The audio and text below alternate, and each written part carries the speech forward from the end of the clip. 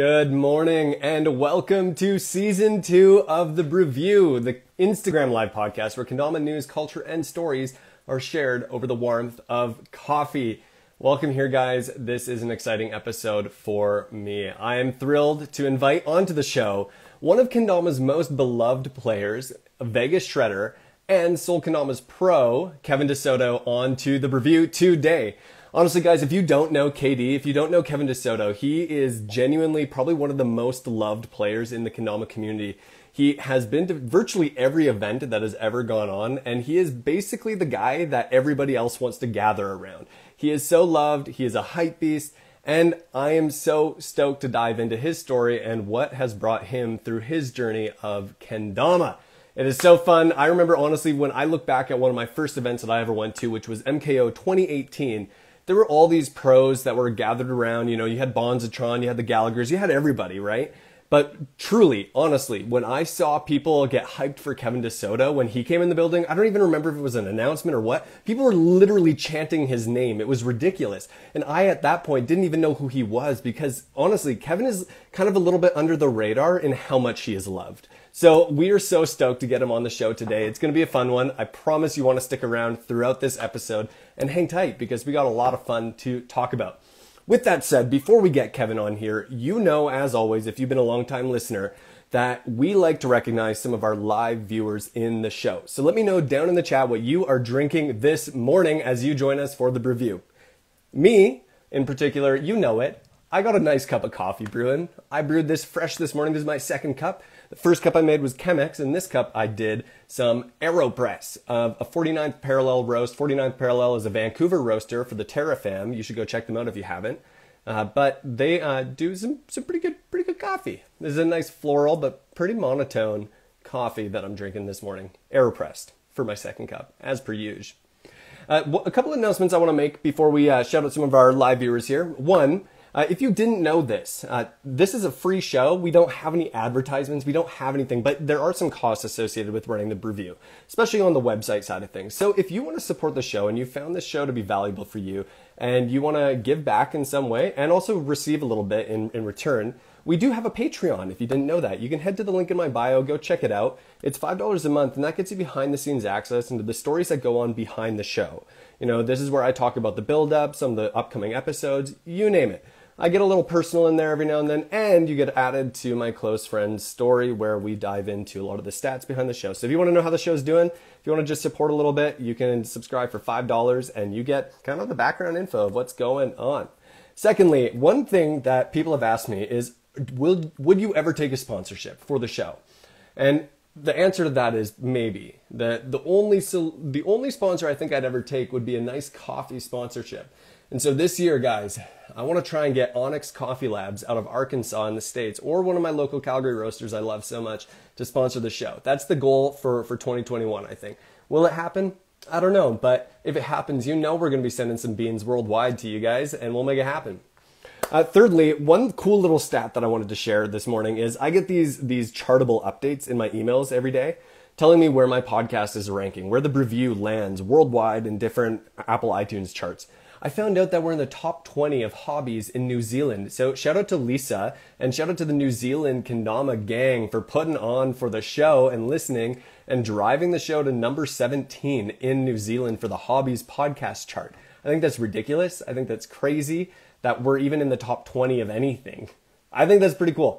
Uh, and lastly, the thing I want to say before we get to the live shoutouts and before we get the man, the myth, the Kevin DeSoto on here, the king of the Kencastle, I want to say we do have a Calgary Kendama Jam happening today down at the Devonian Gardens. If you need more info, make sure to message me and we'll make sure you're there. We try to jam every other weekend.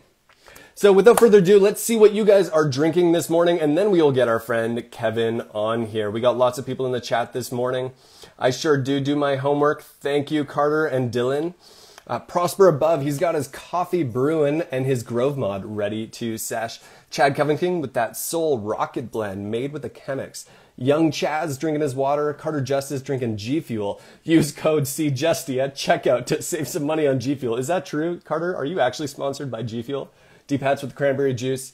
We got the Sol Rocket Blend again from King Kendama, and we see Brian Harley 94 with his OG KD mod. I, I got my OG KD mod right here. It's actually on a an OG Sol Vibe Ken. I think it was from like the Alex Mitchell vibe. I was trying to find my KD Ken this morning, but I don't know where I put it. Anyways, we'll see. Uh, the 904 Kendama is drinking H2O straight from the fridge. Dustin A Nut with the medium roast and Austin Field with the smoothie. Gucci Moon Boots with that light roast and so, so much more. But guys, we're going to cut right to the chase. We're going to get Kevin on here. We're going to dive into this episode of the Brewview because I know you're waiting for it. I'm waiting for it. So let's just dive in and have some coffee with our friend Kevin. Here we go. Here. Mm. yeah, guys, uh, let me know if Carter's actually sponsored by G Fuel. We need the answer to that. Give Kevin a moment here. We're just waiting for him to get on. Sometimes it takes a minute to connect. Let's see. We'll send that request again. Let's see if we can get you on here. KD, you might need to leave and rejoin if, if you can't join right now. This is all good. We see some Gatorade in the chat. We got a couple other things going on in here. Is there any news that we missed this week from the wrap up of what is going on? What else has happened in the Kendama world? Uh, Kevin, let's see if we can get you back in here. If you want to leave the live and come back, I'll send the request again. I'm going to hope to get him on here. It would be the, the optimal situation for today's episode of the Brewview. Mm-hmm. It's a big Sol day. There's a new Sol drop coming at 1 p.m. Uh, my time, I think, and 3 p.m. Eastern, which is, yeah, basically right after the show. So you might want to stick around. Find out what's going on. All right, Kevin, let's get you on here. Come on. Trying to get you. Yeah, Instagram. Come on. What's the beef here? Kevin, Kevin, Kevin. Where are you at? Hello, Luke might be planning a freestyle comp. That's exciting. Kevin, do you want to just close your IG and try and rejoin?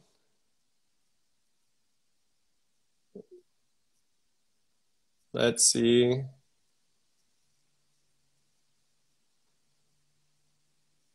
Trying to get him in here. It's tweaking. Tweaking. Hmm. Well, we could restart the live. That might be what we have to do. Uh, I can try that. Uh, but I'd rather not because I don't want to lose the whole intro when we get to the podcast when we upload it. Uh, have you have you tried uh, closing it and reopening it? You know the classic IT reference. Did you try turning it off and on again? Maybe it's on my end. Keep saying you're unable to join. Hey guys, we're gonna try and get maybe Chad Covington on here for a quick second. Chad, are you in the room? Let's see if we can just get someone on. We'll boot Chad out right away. We'll find out if it's on my end here.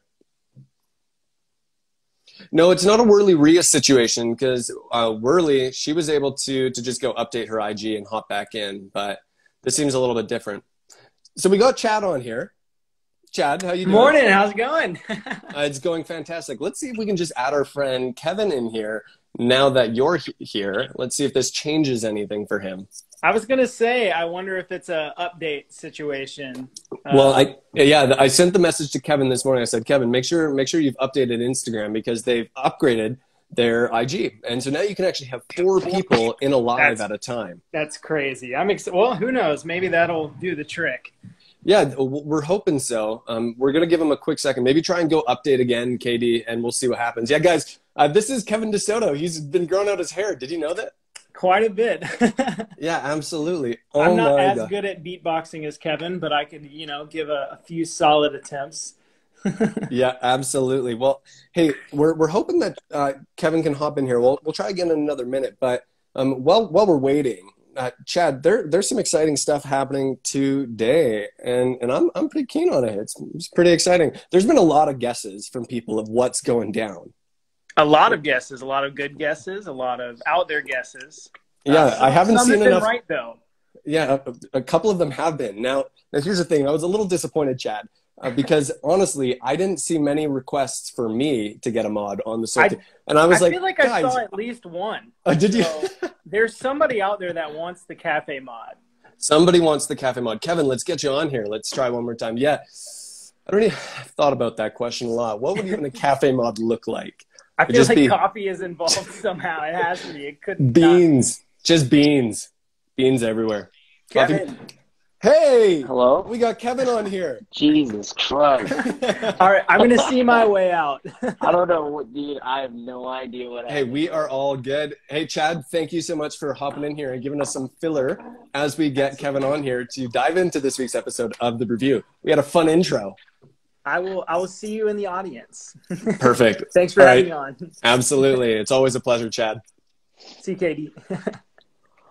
Bye, Chad. Right on. We'll, we'll let Chad get out of here. Kevin, oh my goodness. What What's up, happened? dude? uh, I my internet in my house literally just Mm. like crashed for a second, so Uh. that was perfect That- timing. You Perfect know what, timing. though? This show is not perfect. We don't clip any of the audio. We don't edit anything. I just take the raw audio and upload it afterwards, and it creates this real feel like you were actually there throughout the struggle. You know, I don't. Right. I, I've never been a fan of editing things. I'm like a raw clip only kind of guy. So, so it's just it's just Yeah. my my inner raw clip just coming out through this, and it, you know, it's fun. It's just just what happens. We got to see our friend Chad. Right, that was dope. I love Chad. I talked to him the other Absolutely. Well, Kevin, let me say there is a lot of excitement in regards to this episode, both from myself, both from the community, from Sol, because there's a special announcement happening today. Maybe we'll get to that a little bit later if you know anything about it. And uh, but ultimately, um, we want to dive into your story and get to know you a little bit better, and really dive into the man behind the Ken. Uh, you know, I opened this episode really highlighting how there's so many people in the community that genuinely love you. Like when I went to MKO for the first time, I was saying this. It's like the amount of people that just crowded around you because you just radiate this fun, this joy that people are just so attracted to. Like, man, I need to, I need to figure out what what kind of cologne you're putting on because because that's some magic stuff that you got there. Uh, and on top of I don't even I don't even wear cologne, bro. on top of that, though, you are an incredible competitor and probably uh, a little bit overshadowed from from a lot of people's opinions because they don't know you necessarily in that light. They don't really see you. But when I watch you compete, holy crap, you were so good. And and it's not even not even Thanks, an man. I. You always play so well. You do well. You're an incredibly consistent player, and you're just so fun to watch play in your freestyle runs too. I remember MKO 18. I couldn't cheer for anyone else but Kevin DeSoto.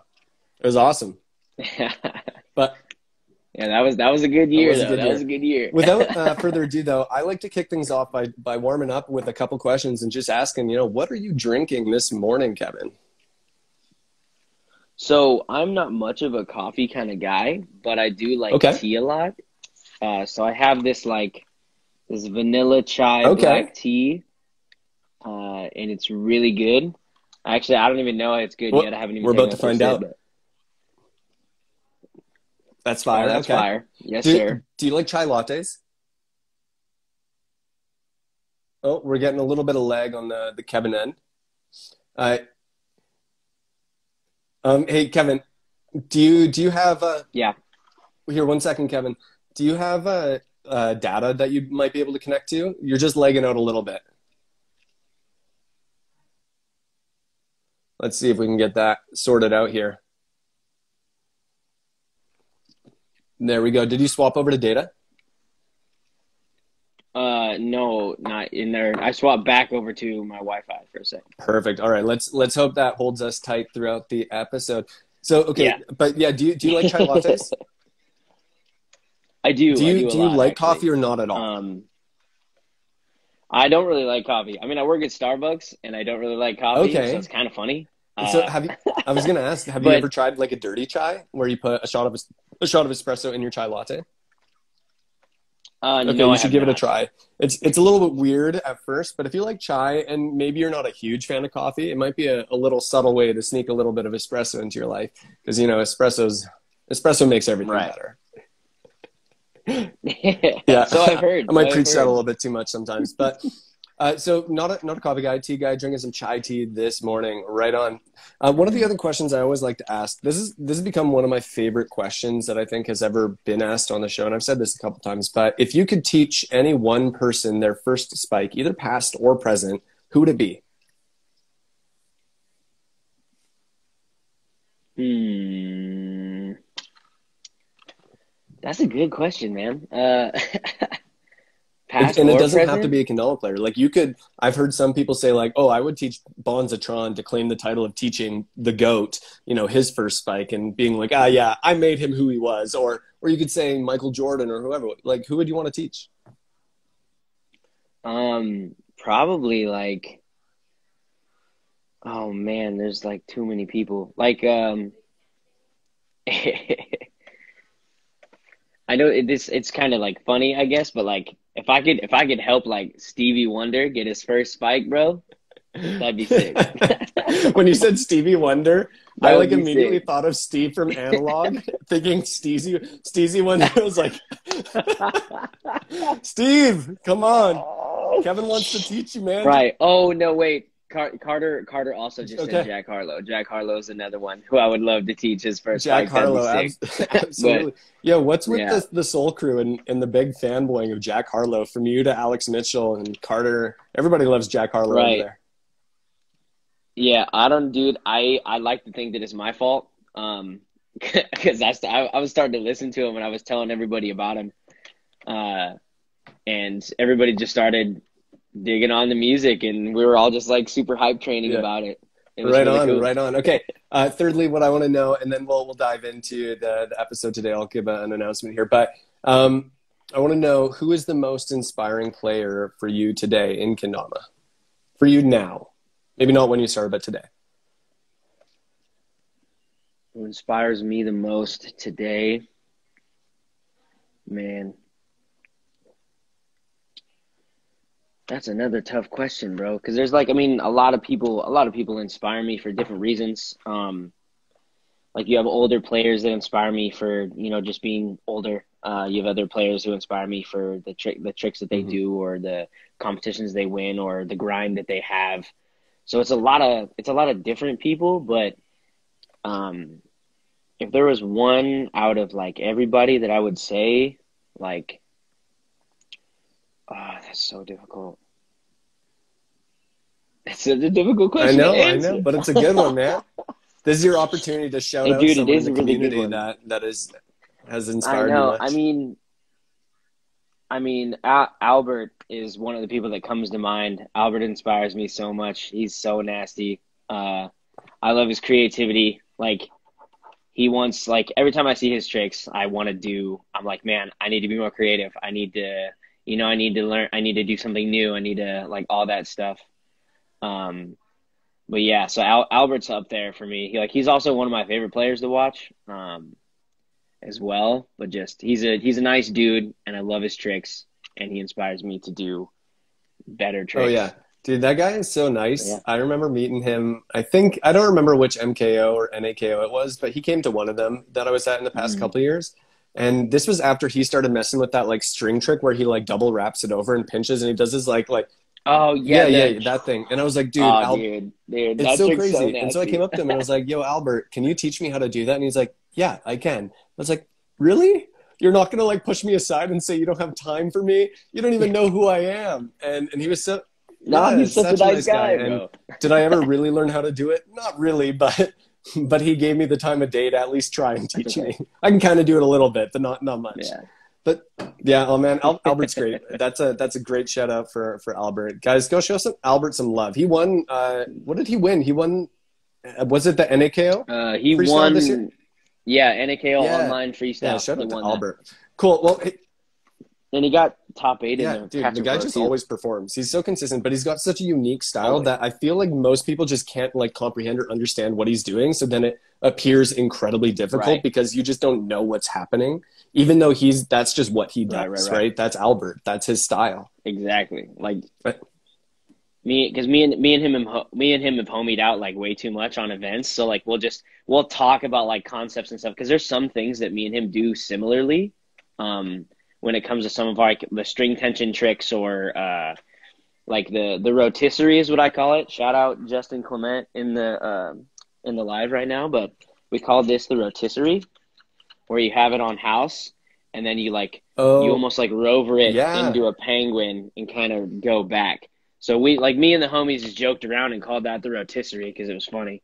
But I know Yeah. he does that sometimes, uh, and so we we just like scheme on certain types of tricks. So after a while, I kind of like got to understand his play style, so I can like follow it is to the best of my ability, and I just geek oh, out yeah. about it. Oh yeah, absolutely. That's a that's a trick that I like. I like that rotisserie. I like anything where you're like controlling weight and moving stuff around and and visually it's so Mhm. aesthetically pleasing to watch that style of play.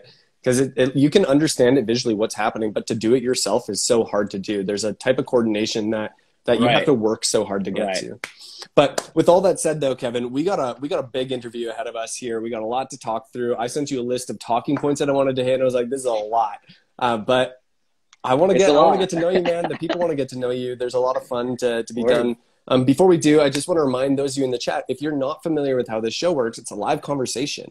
Uh, you guys have opportunity to participate in it. One, if you're a patron, I usually send out beforehand questions or beforehand options for you to guys uh, to submit priority questions. If you're not a patron, you can always submit a question on the post.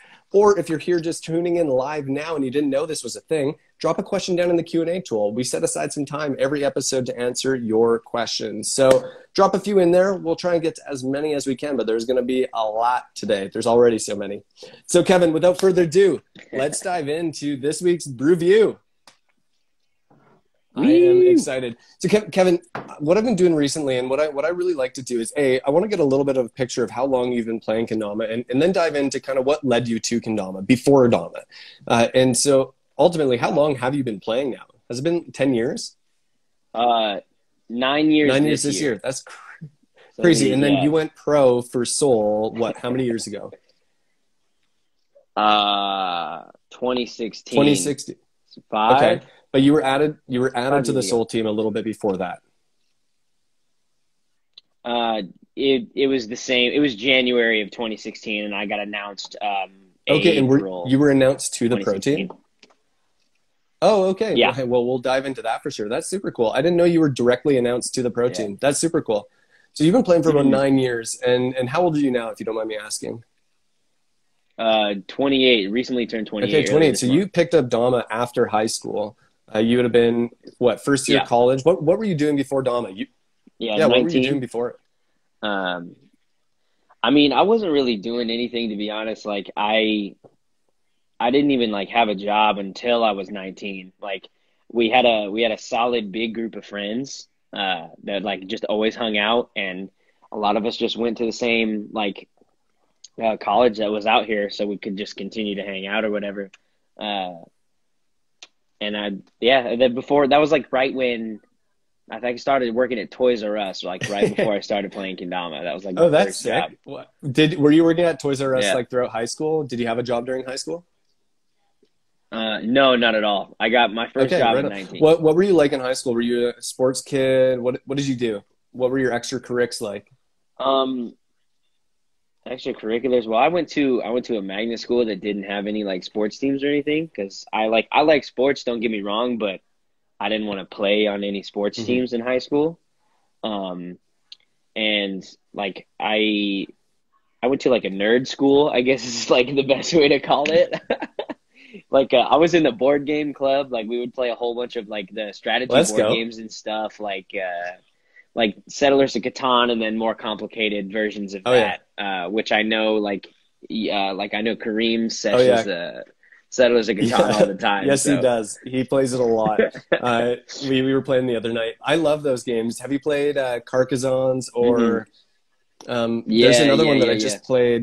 Uh, Clans of Caledonia.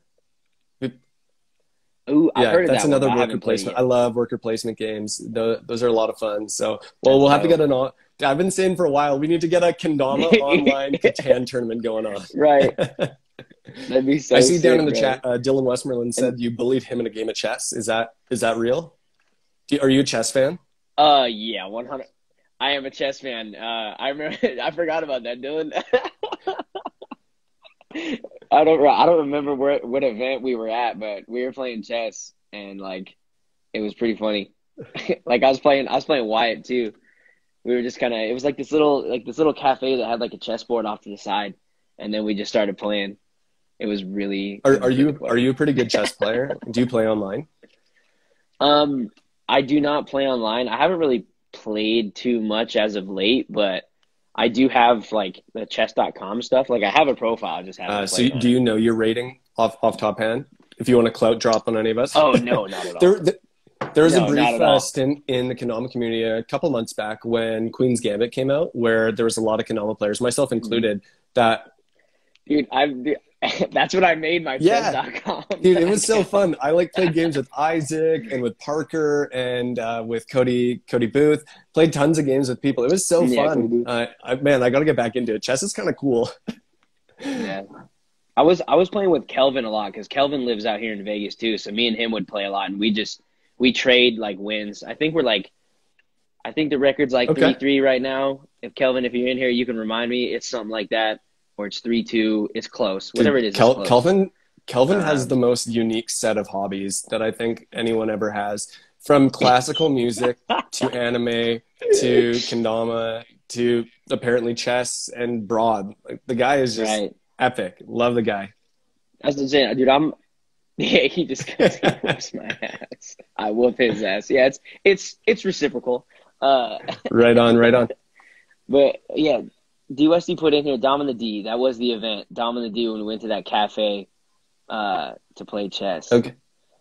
And then also, but also before that, uh, or besides like the or, uh, the board games and stuff, like I played a lot of video games in high school, like Xbox 360, uh, Modern Warfare 2, Black Ops 1, Halo 3. Like I was into all the competitive video games, Yeah. Smash Bros. Like that's all I played was all those competitive. so video you you played a lot of games where you could beat other people. You you like the competitive nature of those games. Yeah. So then so then how Yeah, on earth yeah. did Kendama enter your life in that season? Coming out of that, you worked at Twi- Did you work at Toys R Us Uh, because you just wanted a discount on board games? Is that is that why you worked there? No, I worked there because it was the one place that would hire me. I applied to so many places, bro. like, uh, it's funny story about that is when I, I, because my parents had always told me like when you, you know, turn in an application or whatever, you go into the store and like see the manager and like be like, hey, I'm this person, I just applied, and you keep bugging them and bugging them and bugging them so they can get a face to the name, you know.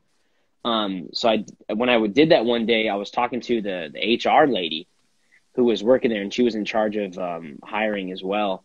I was just talking to her, just regular chatting, and she was like, "You know what?" She was like, "I'm gonna give you your phone interview right now in person," and I was like, "Uh, okay, like that's weird, but sure."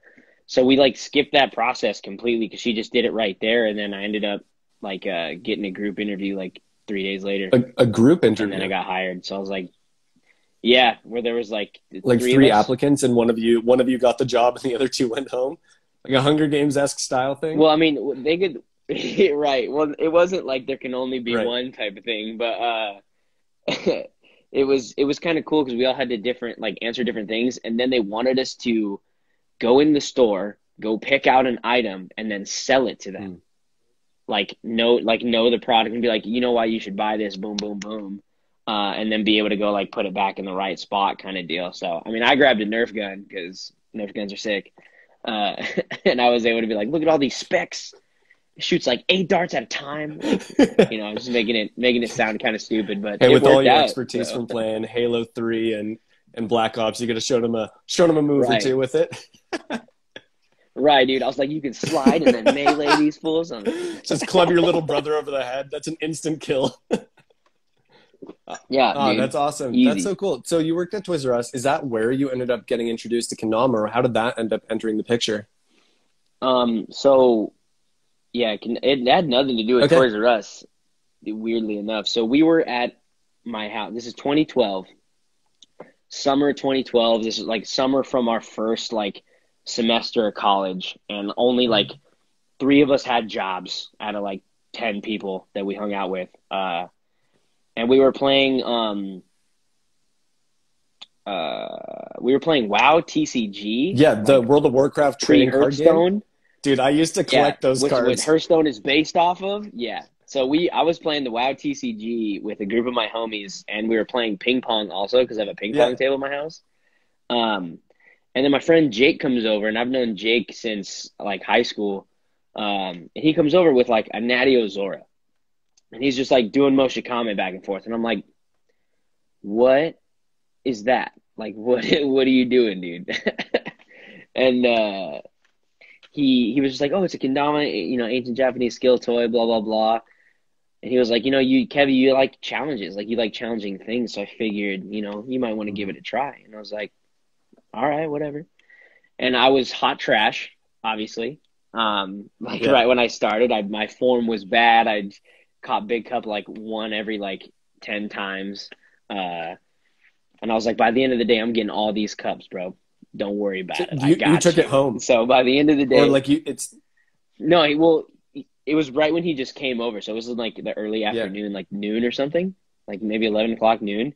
And so by the end of the day, like when he left at like probably like six or seven or something, I was able to get like around the block. And it was Sour Grip too, because like he, he introduced it to me Right. in Sara Grip. So like Ken Grip was foreign to me when I first started. So I was like, okay, I'm going to make sure that I get all the cups in this grip or whatever. yeah. Yeah. I feel like a lo- So I think Uh, lot of people were introduced into Kendama with Sara Grip, or the amount of people that when they're learning their first couple cups, like I was teaching my nephew a while back when he started, he'd like get from here to here, and then he'd do the whole like grab this, then move his hand, and then and then go to the base cup. You know what I mean? And I feel like so many people learn Sara Right. base cup in particular more than any other cup, and because it's easy, it's easier at least. Right. And that's and that's how we got into like like doing all the like. Sara flips to big cup and stuff, which like uh Justin Yeah. Clement, who's in here as well, like he's known for doing a lot of those like flips and stuff. But that's what we were doing. Um and we called it we called it the Ryu The flip. Ryu flip, why that? I like yeah, because because this one's the Ken flip. and it's Ken and Ryu, like Street Fighter. Oh, I never played Street Fighter. That was a game I never got into. I feel like I missed that opportunity That's in my yeah. life. Yeah, because those are like those are like the two main guys, and since this was called Yeah. Ken grip or whatever, and it was a Ken flip, I think my friend, I think my friend Ephraim coined the phrase. Uh, he was like, "Dude, just do a Ryu flip, like base cup flip back to base, base cup, sorry, flip Yeah. back to base Oh, cup." that's cool. And that's and that's just what we called it. Like we had so many, like we had names for tricks that like that were inside joke Yeah. names for just our little yeah. squad. Oh man, I feel like that's that's kind of the thing that happens though, especially back then before there was the whole Instagram movement of kendama. yeah, Because back back Oh, then you had all these little pods of people that were playing the same game but had no connection to one another, and they were all doing the same quote unquote tricks. Like someone else probably was doing that trick in another pod elsewhere, but they had a totally different name for it. And then Mhm. all of a sudden, these two groups collide, and they're like, "This is called the Ryu flip." No, it's the Sara flip. And then it's like you have a big beatdown to find out who's right. yeah. Dude, okay, so you funny. you picked it up there. Do you remember what kendama it was? What your first dama was? Um, yeah, it was uh, because after after I got all the cups and gave it back to Jake, I was like, all right, dude, I want to buy one. So I went on Amazon Yeah. because I didn't know any better. Uh, and I bought a uh, a mama. I've never heard of that. It was the it's it's the eight ball one. If anybody remembers the Amazon eight ball, it's like an eight ball that's on top of two eyes, and it's a black tama because I'm edgy. Uh, and I don't know anything about tracking at the time, so I was like, "Oh, that's just the Oh, man. coolest one." Um, and that was the first one I got. I still have it. It's like upstairs in a box somewhere, but I still have it. That thing is Well used. literally, yeah, well used, and it's so bad. it's okay. Oh, that's awesome, man. I gave away my first kendama to someone because I was like, no way am I going to be nostalgic about this piece of wood. And now I'm like six years into kendama now, and I'm like, oh, I wish I had that to put up behind me so people could see what my first dama looked like. Half of a cup still remaining. Well, you know, broken chips everywhere on it, blunt as heck spike. Right. Well, mine. That's the the crazy part is is mine wasn't even chipped. If if anybody in here knows how rough I am with kendamas, if you can believe that my first kendama you haven't wasn't played it chipped, enough. that's crazy. But the spike You is got to like go pick flat. that thing up again. But like I would, right? But you, but at the same time, I was only doing like, like one like lighthouses, lighthouse flips, and like cut Mhm. flow with that dom Right. when I first got it. So I wasn't even doing like anything super Mhm. intense. Um, but yeah, it just didn't get. It got a different type of love than like the Yeah, ones now. absolutely. That's cool. So you started out Kendama, you got your first one, and what was that early journey like for you? Uh, because I feel like for a lot of people, the early weeks of playing Kendama really make or break whether or not they're going to play Kendama. You know what I mean? It's like the first week or two, it's like you either Yeah. drop it and leave it forever, or you kind of make that choice to go like, no, I think I'm going to stick with this thing for a little while. So what was that like for you? Um, well, for me, I'm that type of person who, if I find an interest in something, I'm gonna be all 100% in it until until I either reach like a certain goal or or maybe I find something better, uh, at least for me. So it was already something that I was hooked on, and I was like, I want to go deeper within this. And we were just watching like, you know, Colin Sander edit seven, Zach Yord edit five. Like those were the edits that we had to watch to learn how to do tricks. Um, like, like people today that don't have like we didn't have the tutorials, you know, that everybody Mhm. has now, and you would have to sit there and hit spacebar twice to be like pause play, pause play, pause play. Should slow Yeah, you there couldn't was no slow mo the video either. for YouTube. Yeah, so you so you really had to like try to time it right to see what even trick they were doing if there was any technical ability about it like you couldn't slow it down so you just had to try to like you were Yeah. all up in the screen like trying to squint your eyes trying to like see the trick in like as slow as possible Oh, Oh man, it was it was just that's all we had, and uh, it was cool that there was uh like four of us that started playing all at the same time. Like Jake, Jake was the catalyst for it, and uh, he got me, my friend Oliver, and my friend Okay. Ephraim. Uh, so there was the four of us were you, were you all friends who started like playing through high school? Is that how you knew each other? Um, yeah, so Jake I met in high school, uh, and Oliver I met in uh, at the end of high school, and Ephraim I've known since Okay, sixth so grade. long time friends. So I'd known I'd known yeah I'd known him for a while, and they're all longtime friends at this point now.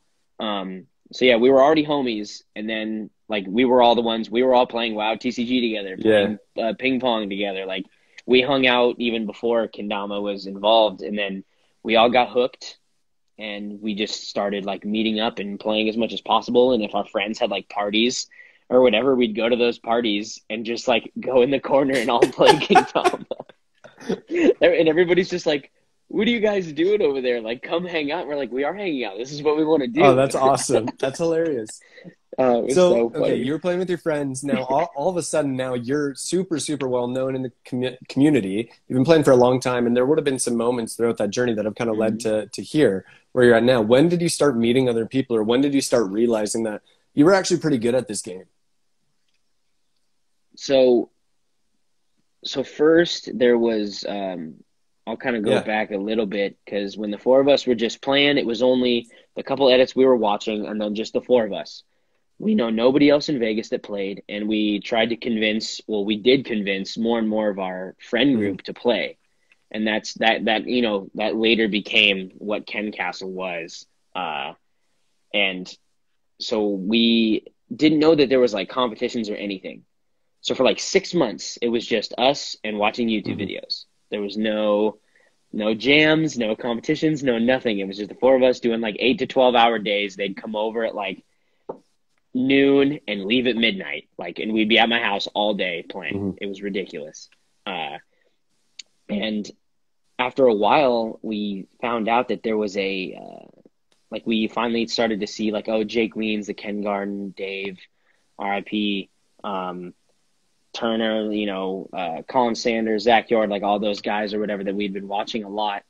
Um, they're like, oh, the Ken Garden's coming to Vegas, and we're like, what? Yeah, the Ken Garden's coming to like they're coming here. Like, what do you mean they're coming here? Like, we gotta we gotta go to that. We gotta go. Like, we were we were tweaked out, and this is like early early 2013. Like I said, six months after like I started playing, uh, and so we ended up going there, and it was at uh, the District Dance Studio, which is where um, the Jabbawockeez practiced for their performances. Uh, yeah. Super Crew also practiced for their performances there.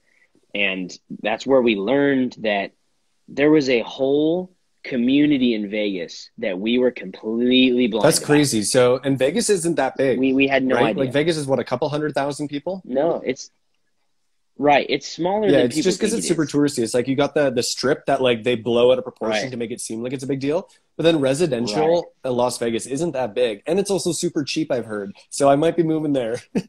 Right.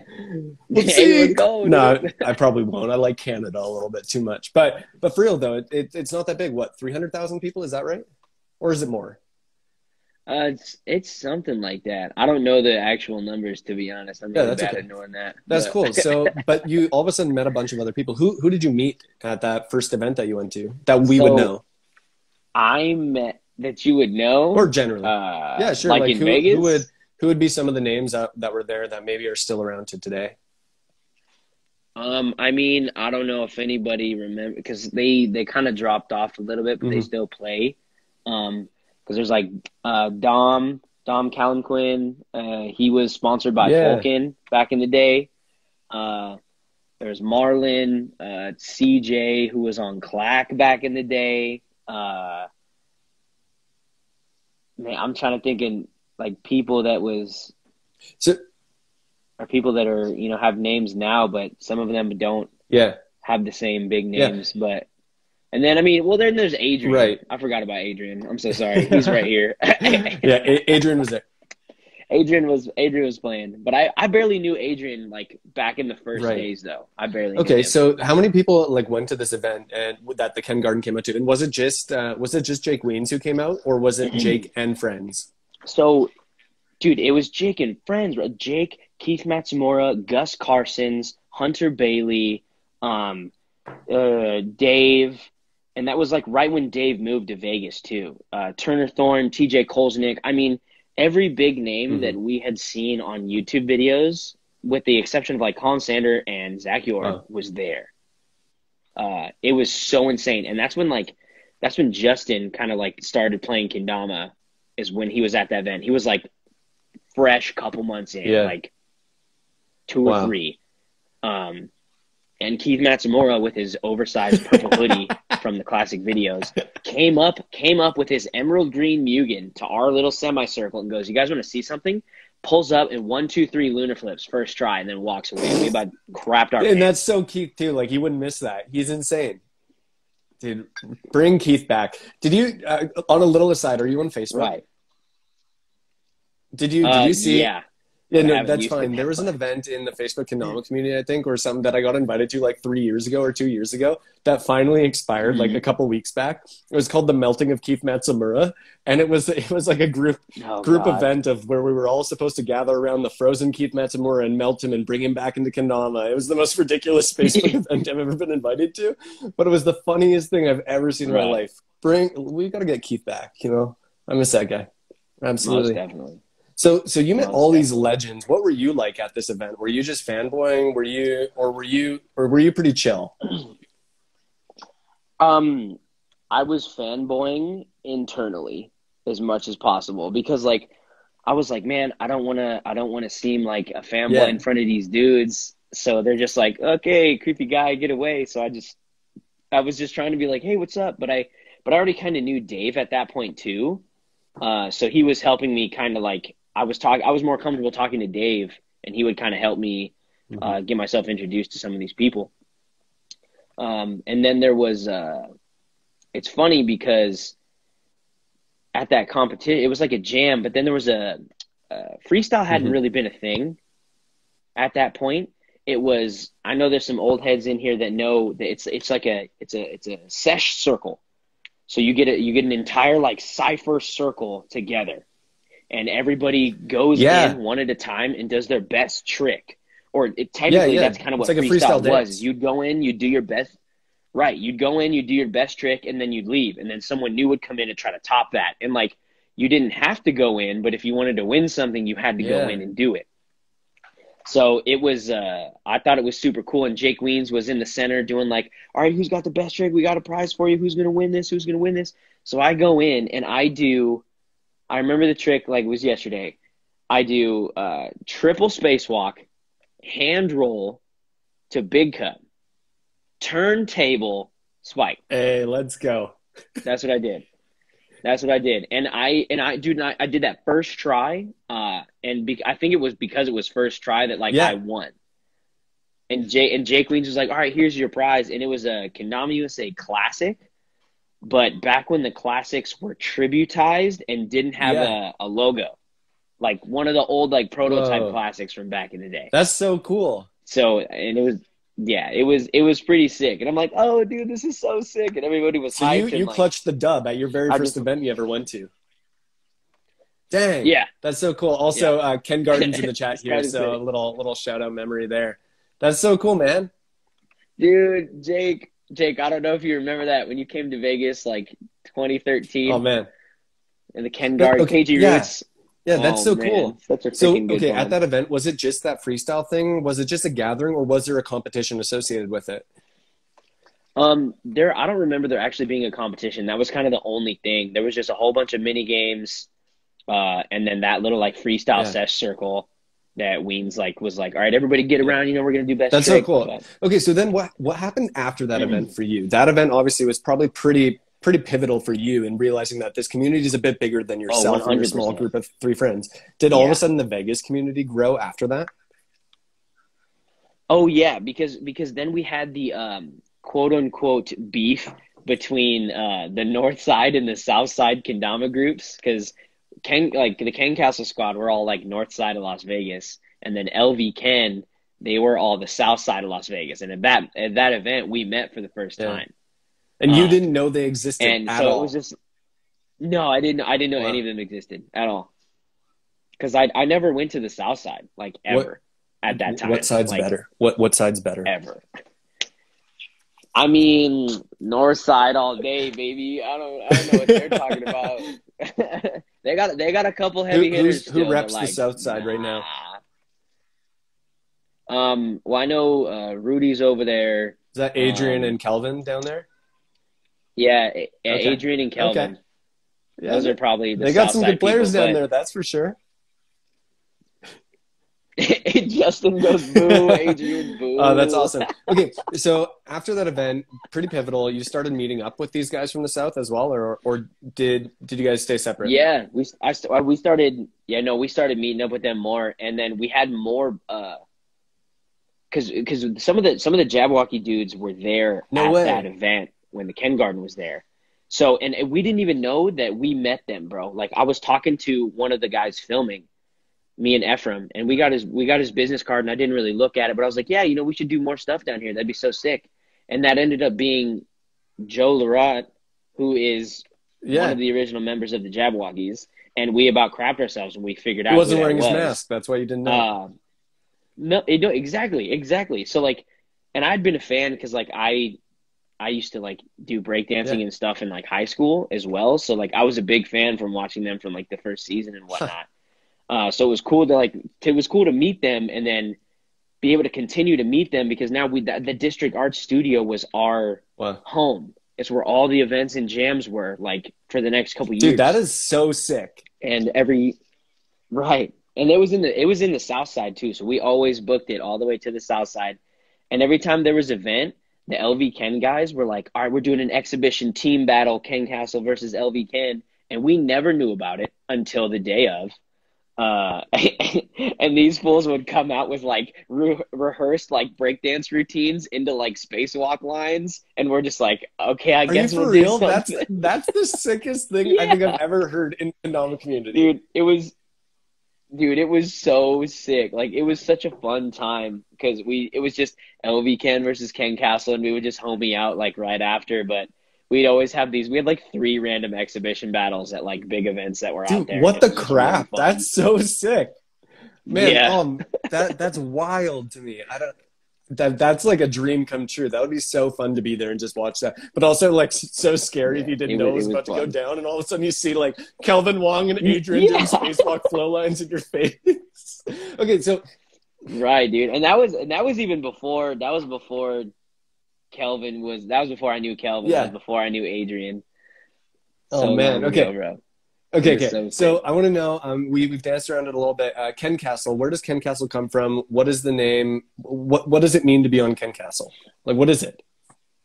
Uh, well, Kencastle started off, at least with the four of us, we wanted to be some form of a collective. Um, but we didn't really want like the name to have like Kendama in it because everybody was like, like even like LV Ken, they were LV LV Kendama team, like uh, Wenatchee Mhm. Kendama team, like Downriver Kendama team, like all of them had the KT part, and we we were like, we don't want that exactly. So what do we, you know, what do we do? And at the time, uh, me, Ephraim, Oliver, and another one of our members, Kyle, who've all been friends forever, we were in a band together around Yeah. the same time in the early days, and we were we were working on a song um, that we had named castles. And uh, one day, me and Ephraim were kind of like messing around with like kendama team names, and I don't know if it was me or the both of us that were just like, "What about Kencastle?" Because like we just we just rehearsed a song Mhm. called Castles, uh, and so we are just like ah ah, like just being like super cheeky about it, and we at the at the start we were just like, "Yeah, that's not it. Let's think of a different name." and then like two like two or three days go by and like we text each other like you know what that's actually pretty cool sounding now that i think about it more so it just and then that it just kind of became the name off of that it like started as a like it kind of started as like a little bit of a joke we didn't really take it too seriously and then it ended up sounding really cool Yeah. and we ran with it and we just we just kind of like added or quote unquote added like all of the north north side of Las Vegas homies Mhm. onto the team. And we were just a group of friends. Like that's all we wanted to do. We didn't want there to be like a hierarchy too much of like you have to do this, you have to do that. Like we weren't you know, we're not a sponsorship. We're just a we're a collective of friends that just has a title and that, that's about it. that was it. a pretty popular thing to Um, do back then too like everybody every local community had their Right. own name did you guys create your own like instagram page for your collective yeah oh, does that oh still yeah. exist Yeah. We had we got low uh yeah, it hasn't been active in forever, but it still yeah exists. so though. would you say that like kencastle still lives like it's still a, an alive thing or do you because because you still rep it like you still go by kencastle kd and there's still oh yeah. uh, justin justin Oh, still yeah. goes by jc kencastle right Right. So we, I mean, we still rep it. I hashtag it in everything I do, um, just because it's a, it's kind of like a ride or die thing. Like it'll never, as long as as long as I'm playing kendama, it'll never die, because I'll still always rep it. And like a lot of those other guys don't, you know, they're not really active in the scene too much. Uh, a lot of the old members, but like we still talk about it, and they're still, to me, they're still members to this day. Like I'm I'm never gonna take that away from them because they were they were part of something that was so special and such a crazy cool time in Kendama. Um, and we got a lot of like we got like a lot of tension and like all the Wenatchee guys like knew who we were after a couple years and we could talk to like Keith and like Matt Ballard about the Wenatchee stuff and they're like yeah Castle like we've heard of you guys and all this and I'm like what like you know we were just kind of tweaking out that uh, these other like these other famous group guys, you know, Mhm. knew who we were. You know, we were just kind of getting Yeah. some traction before before any of us got like sponsored That's so cool. or anything. Cool. Okay, I want to I want to touch a little bit on the events that you went to because you you've you went to a ton of events Mhm. after that, and I've seen it in the chat a bunch. Everybody's like, and he won everything. Oh, um, yeah. I want to touch on that, and then Dude. and then let's take a, a little break. We'll answer some questions, and then we'll we'll jump into the Sol journey uh, after after the Q and A, uh, and then we'll we'll dive into that journey, your pro, everything there. Uh, but before we do, let's let's chat a little bit about the events that you attended and won because you went on a hot streak, from my understanding. So like like in, in, general, Vegas or like you, general? when did you realize that you wanted to start traveling for this wooden toy? Um, well, so after so after the like Ken Garden Jam at District, um, I have so fun fact I have a I have a notebook that has all my Dama travels from when Oh. I first started, and you know there's pages and pages of all the events Wow. I've been to, uh, what placements I got, if they were good or bad. You, you've been to- like so I just I've you've been to a lot. of. Like you've been to most. If you've Yeah, pretty much I've been, been to to- every major, been to ma- major basically event, everything. right? yeah, that's crazy. Have you been to the Europe ones, like the ones in Europe? Um, only the one that happened in Denmark Okay. like two years ago, Yeah. the EKC. That was my first time going to Europe, so it was uh, mainly all the stateside ones and the Yeah. two in Japan. Those are like okay, the cool. Okay, so yeah, uh, talk to me about some of the early events you went to. Um, yeah, so we went to uh, the KG Roots tour, which was like the last year that it happened in 2013. Um, we went to that in the, the first stop in San Francisco, where we we got to hang out with like Jake Wiens and everybody. And the cra- crazy story about that is we got there a day early, and uh, we go to the Ken Garden, like the physical store, uh, the San Francisco, um, and we talked to the guy who owned the place, and he was like, "Oh, Jake's not here right now, but I can call him." And I was like, "Oh, cool." I just said, "Oh, tell him just some the guys from Vegas are here." And he was like, "What? The Vegas guys are there, dude? tell him to like we'll be there in 30 minutes. Just tell him to like Mhm. wait around." And I was like, well, "What? Like he he knows who we are? Like what's?" Then it was only me, Oliver, Ephraim, and uh, our friend Aaron, Aaron Moore, who was on that trip. So we were geeking out, and then we come back 30 minutes later, and a whole cast and crew of you know Dave, Keith, uh, Turner, TJ, Alex Smith, uh, Zach Yord, Colin Sander, the the gang the gang was all there, and they were all there. And then Dave was like, "Oh, what's up, guys?" And we were like, "Hey, what's up? What's up?" And we just went down the line, met everybody. And then you know he remembered us from you know like early like six months earlier, or almost like eight months earlier. Uh, and he was like, "Hey, um, you guys should roll through to the Ken Garden tonight. We're just gonna be hanging out and stuff." And I was like, Mhm. "What?" So Jake Wiens gives me the address to his apartment, aka the Ken Garden at the time. And we were just like, dude, we just got invited to Jake Wiens' apartment to go kick it with them. And we were all trying not to like Mhm. geek out super hard. We're just trying to be like, oh yeah, they're just people, you know, it's fine, it's whatever. When really inside we're like screaming and sweating. Uh, and so we go up there and like everybody was there. More people walked through the door. That was the first time I met Torkild. Torkel was in America at that time. Matt. Yeah, he came to the KG Roots tour. That was Wow. the first time I met him.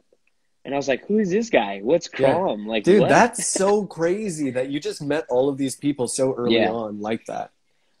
right. I like, I, and that's the thing. It's like, so I've known all these dudes for like eight Wow. years. Like, I've known all, like, all those like top pro guys. Like, they've been, they're friends of mine, you know, and now at this point.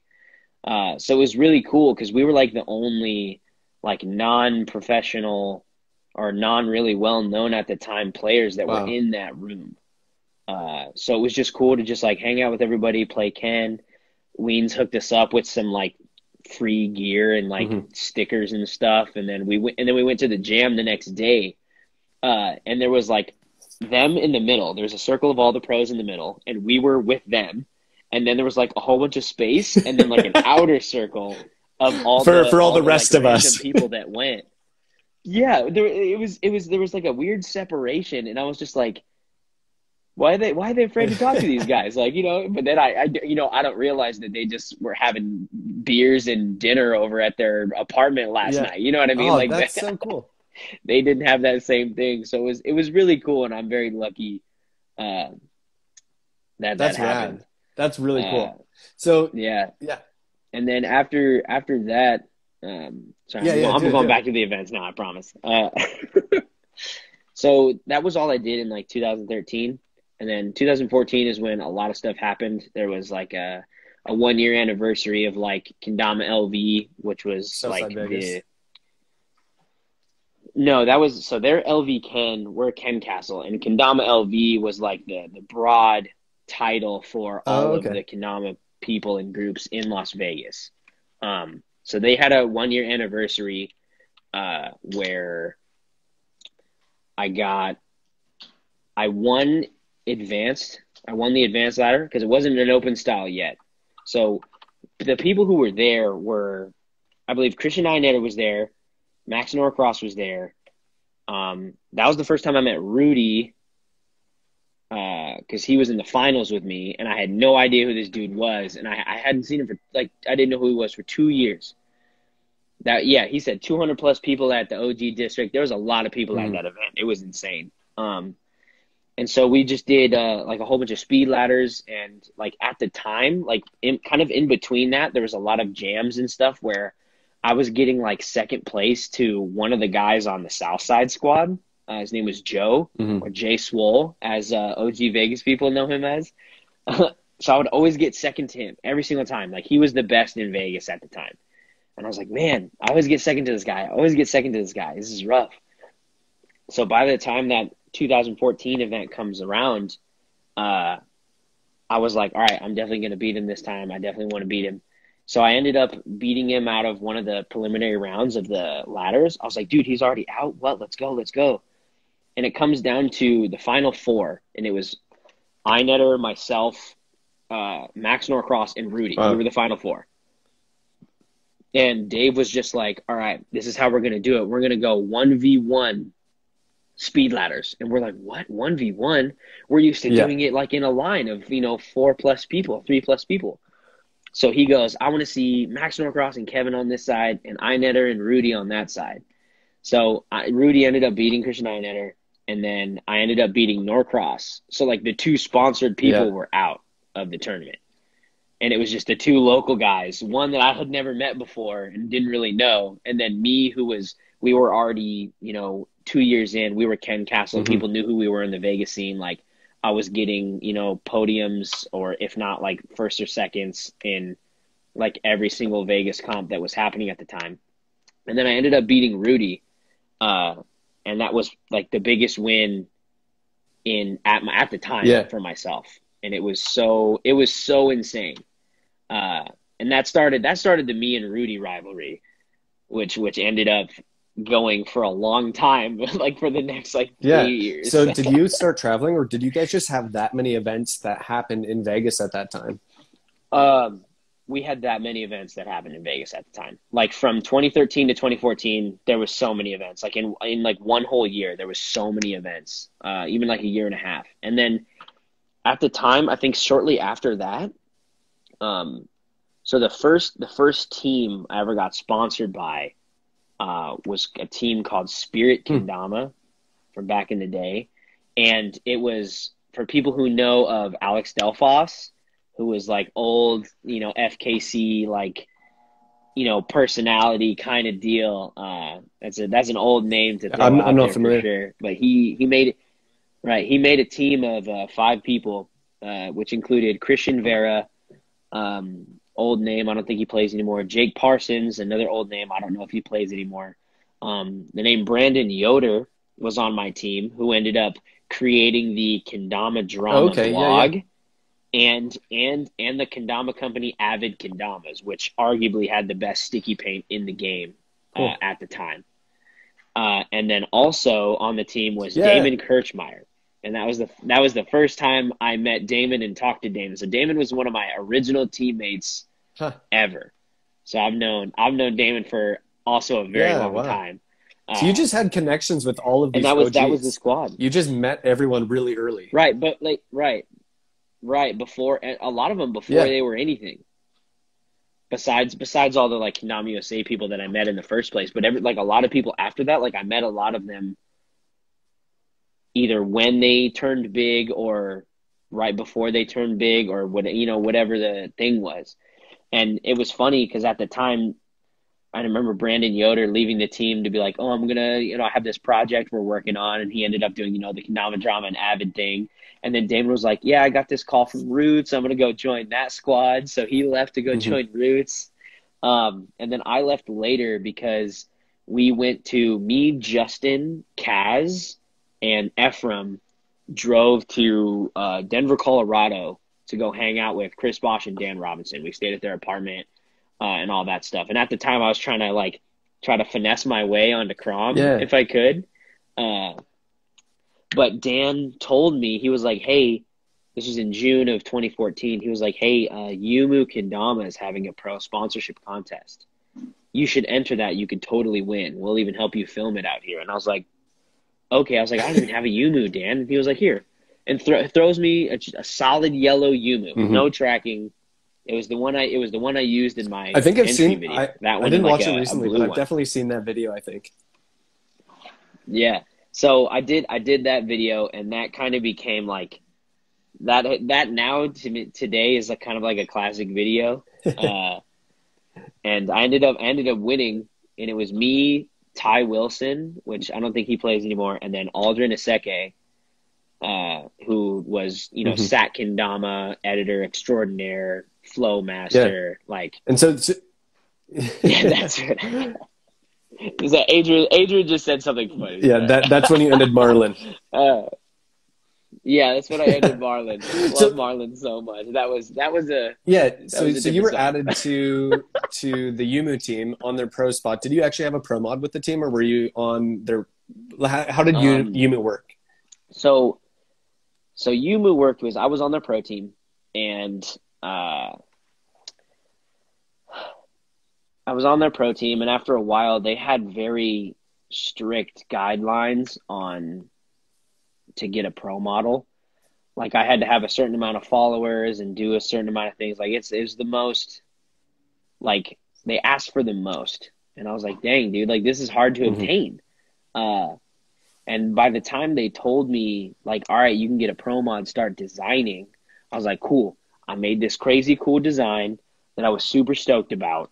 Um, and I gave them the design, and they said, uh, we can't do Hmm. that.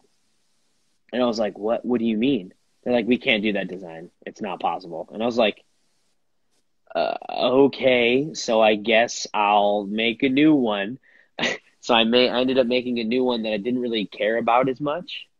Um, they gave me two prototypes, uh, three prototypes, excuse me, and uh, like I like those. And then after a while, I was like, all right, this is what I want. I want this wood. I want this, this, this. And then they were like, oh, well, we can't, you can't, you can't get a pro mod yet. And I was like, "Wh- So you, what do you mean? We like we you pro- you promised me this, and then you said no, and then you promised me this, and then you Mhm. said no. So like, what is going on? Like, what do I have to do Yeah. now? Like, it, there was there was so much. Like, I could go into this way more, but I don't. It, Yeah, it- it's I don't past, need to. But a lot for everybody, yeah. If you know, you know, and that's all I gotta say. yeah. Uh, Yumu's done though, hey? if Yum- you know, you Yumu- know. They shut down a couple Yeah, years ago. um, they're still around. are they? I, I'm they? not sure. I, I remember what what was his name. Um, he was very eccentric. I met him at MKO 18, and I bought a, a Yumu off of him. I'm trying to remember his name. Oh, uh, uh, uh, uh, uh, New York. Yeah, he was homie. hustling out of his backpack. now. Ken, Kendama Ya Yeah. official. I can't remember his Yeah, name. I remember buying dude. one from him. Um, where's Where's Yeah, Austin? Austin What will is know. his name? Austin's our resident expert on all things Kendama. The guy literally. Yeah, Vincent. Vincent. That's who it was. Yeah. Vincent. Yes, Yeah. Vincent. Okay, that's the guy. Cause he because he would talk to me a lot about Yumu stuff. Cause I was on the team uh, before he became like Yeah. like the man, you know. Um, but after but after that, like all the pro mod stuff or whatever, I was like, dude, I'm sick and tired of that and all the other all any of the other stuff that was going on. So I was like, dude, I'm gonna leave. Like I want to look for something new. And this was about around you know the end of 2015 that I was thinking this way. So like I turned because I turned pro in 2014. Um, you know, and then that's when I that's when I started, or at least to go back to that's Mhm. when I started traveling out of state. Um, you know, I went to Battle in Seattle, uh, MKO, some more Vegas events. Um, did the Grip New Year's contest a couple of times. Uh, went to Willie P had a contest in 2015 that I ended up winning.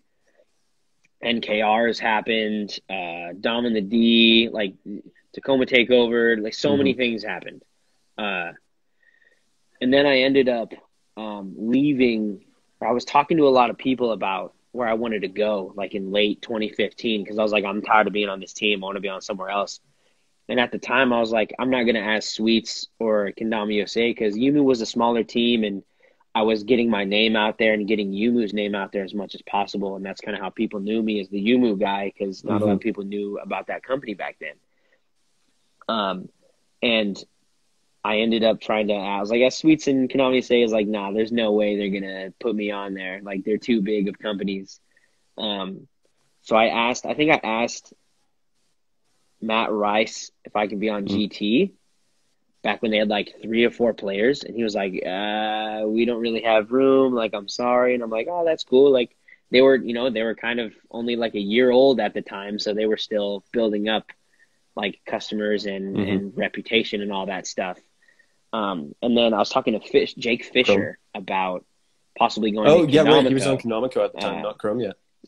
Yeah, and I because I had still I still liked Kendama Co. I liked a lot of those guys on that team at the time. So I was like, maybe I can get in on there. And I hung out with Dan and Chris Bosch. And Chris Bosch, Yeah. funny enough, is my teammate now. So it's it's funny how that works out. But um, I talked to him and he goes, "Hey, dude, like you should talk to Chad about Sol." And I was like, "Dang, bro, I forgot Chad owned the company." Chad's just such a like bro. it was like right yeah because like i'd i'd met chad prior to me talking to him and we met like there was like a string and chad can confirm this too. There's a string of like four events in a row like every weekend. Like three weekends in a row and then like uh like a weekend of space and then that a next weekend of like me and chad were at the same event every single time. So we just like our friendship grew from each event to the next. Um and so by the time I was talking to Jake Fisher and he was telling me about uh, Sol, I was like, you know what? you know, I've played their flows. Like those are pretty nasty. Like I got one at Dom and the D when they dropped it like a year ago or something, um, or like six months ago, whatever it was. And I was like, you know what, I'll do that because I kind of like those guys and like I like Chad, so I'll go talk to him. So I hit up Chad and Shelton and I was like, hey, would it be cool? Like, could I possibly join your team? I mean, I don't remember how I asked to be honest, but I basically asked if I could be on their team. And Chad and Shelton were both like, uh, yeah, that'd be sick. Yeah, they, did they have anyone on their team at that time? Yeah, so they had um they had their they recently gotten their pro team and their flow team. Their pro team consisted of yep. Will Scheibe, Evan Derube, uh, Cal, Cal Nasser, and then their flow team was Wesley Carconen, Aaron Mullins, and Lyndon right. Whalen. Uh, so those were the original six team members at the time. So so I ended up asking them. They're like, "Yeah, if you you know if you're gonna leave Yumu, like you can totally join our team. That'd be sick." Uh, and I was like, "All right, cool." So I ended up uh, leaving, and it was right after. Man, I'm getting the timelines blurry just a little bit here. So before, so I was looking for companies and stuff, and then 2016 Battle at the Border happened. The first time I ever went to Battle at the Border, um, and a lot of the big competitions I wasn't doing well in quite yet. Like I was only doing well in Vegas competitions and like California competitions. And then like I remember Tacoma Takeover, I got like third in freestyle, but that was back when seven to spike right. was kind of a thing, and I was like known for that, and I did it a lot more than most people at the time. So that was probably the best thing I had gotten outside of Vegas. So when we come to Battle at the Border when you know Christian Fraser's there, Jake Fisher's mm-hmm. there, the whole the whole Sol Pro team's there. Uh, Netter and Mika Marsh was there on KROM at the time. Uh, Willie Pete, like so many people were there. It was insane, and I ended up winning the open division. I got first, and then I got second in freestyle to Jake Fisher. Uh, and the the prize at the time was uh, a grip, a one of one gripped Sol standard wow. shape can. And I still have that trophy. Worth upstairs. a lot, I'm sure now. That's it's, crazy.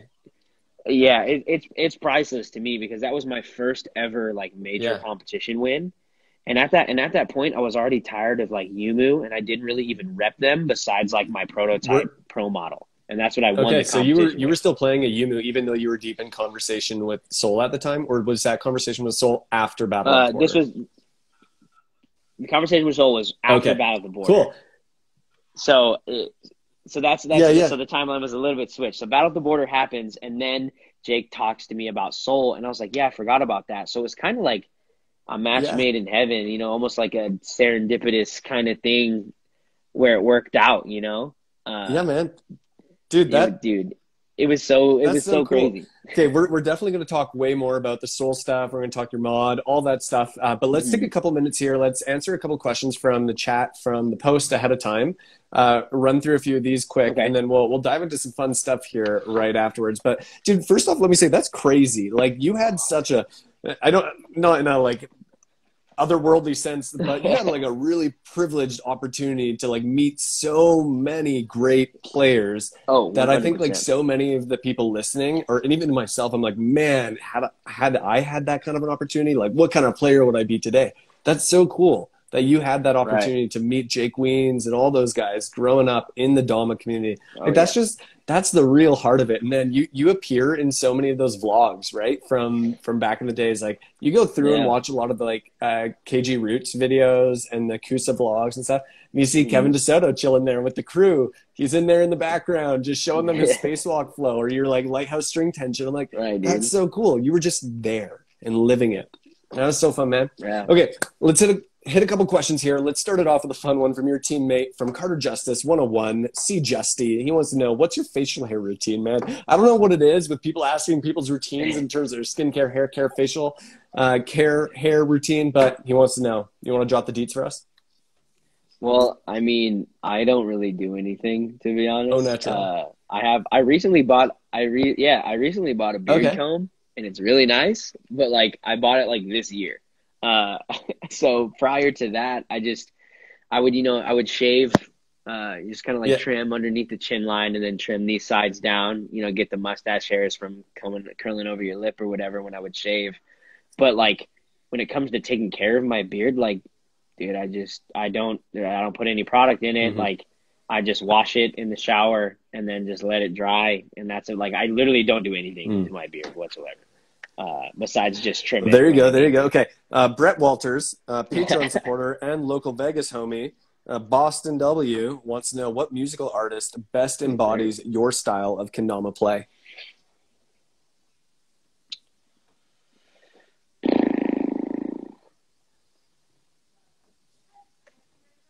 Man, dude, y'all got some good questions. Uh, what musical artist embodies my style of play? Man, I don't, dude. I don't really even know. I just think, I just think something, anything that's like funky Mm. or groovy. Uh, he said Felly. You know what, Rudy? Felly's dope. Carter Curtis is Jack Harlow. How, Jack, but Jack, but Jack Harlow's like later. Right. You know what I mean? He's he's been he's been recent for me. Anderson like, Paak from uh, Justin. Yeah, there's ah, there's three good people one saying too, Anderson Paak. Anderson Paak's Yeah, good. that's for us. uh, that's probably what it is. Because that that dude is so Oh, yeah. silky smooth, bro. So like, I mean, if if that's if my style is silky smooth, Yeah. then there you go. Oh yeah, I think Anderson bro. Paak's a good one. I think that's a good Yeah. choice. Okay, uh, Lyndon Whalen wants to know who is Kevin's all-time favorite teammate. um, it's either gonna have to be. It might be like, it might be like Aldrin from Yumu, or uh, or even Damon from like the early Spirit Yeah. days. To be honest, just because like the amount of conversations we'd have, um, and like me and Aldrin traveled together Mhm. like a lot and homied out like a lot, and he helped me on a lot of video projects. Like he helped me on like all my grip entries and stuff, and like a couple other videos after that. Uh, and a couple like uh, we went to like when we went to Seattle, and Justin was there. He remembers that Seattle trip was so fun. But yeah, like probably those guys would be my favorite team members. I mean, obviously, I love everybody on Sol. Uh, Who who Like, who do you bro down with the sure. most on the Sol team? Uh, Lyndon, probably yeah. Lyndon. You, but you and Lyndon have been on the Probably- team for probably Lyndon over together. everybody. E- no, exactly, and that's time is just said Yeah. that basically. Uh, yeah, I, I can see that too. Man, Lyndon, get well soon, Yeah. man. We need more Lindy tricks. Come on. Come on. We, we're, we're working on it. yeah, he's Yeah, he's man. he's working on it, man. That's he's, tough. He's doing it's good. tough what he's so, going through. Man, to not play Dama like that, that's most insane. definitely. Guys, go give Lyndon some love. Yeah. Go go show the man some support and love. He's He's been putting on for Dama for a long He's time. boy. Long time. Way All right, uh, we got a couple questions um, regarding Ahmad. Well, we'll get we'll get to that in a little, little bit. But uh, Gia- Gianni Vegas wants to know one up with or without the base cup hole. Actually, th- this is an interesting question because you you'd never really played with base cup holes. You were always a no base cup base cup hole kind of guy, for, for from my recollection. Yeah, for a very long time, uh, until like 2018, when there was no non-base Yeah. options. So it kind of just got like exited out, I guess. But like my whole, you know, my whole life, base couple wasn't a thing for the first like years of my. Dama career. So I'm just used. So I'm just used to that. And so when the Pro Mod came out, it was only natural for me to not put a base cup hole in it because I used to do these like finger Yeah. spin tricks. And like if Steve, if Steve, if Steezy Wonder, my boy Steve is in here, he'll know exactly what I'm talking about. I don't even have, I don't even have a no base cup hole. Dude, I got I got your on my desk right now. But like, right here. there you go. So like, I used to do this trick where I'd spin it on my finger, and the string would catch my thumb, and then I would have it attached. Oh, that's sick.